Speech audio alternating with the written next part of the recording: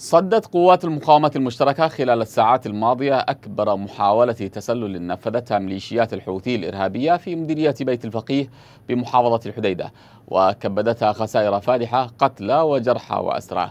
مصدر في الإعلام العسكري التابع للمقاومة الوطنية حراس الجمهورية أكد أن بقايا جيوب الميليشيات الحوثية نفذت عملية انتحارية في محاولة لاختراق تحصينات ألوية حراس الجمهورية بمزارع منطقة الجاح التابعة لمديرية بيت الفقيه وسرعان ما انتهت بالفشل الذريع ومصرع وجرح معظم المشاركين فيها.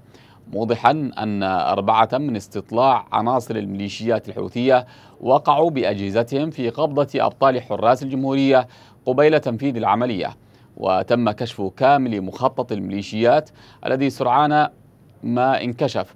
وسرعان ما وجدت الميليشيات نفسها في كماشات محكمة. ولفت أن المواجهات استمرت زهاء ست ساعات متواصلة أنهت حلم الميليشيات الحوثية في فتح ثغرة من الجاح لتخفيف الضغط على عناصرها المحاصرين داخل مدينة الدريهمي منذ أسبوعين. وذكر أن أحد أبطال حراس الجمهورية استشهد وأصيب أربعة آخرون خلال المواجهات فيما سقط العشرات من العناصر الحوثية بين قتيل وجريح وفر البقية مخلفين وراءهم أسلحة وغنائم.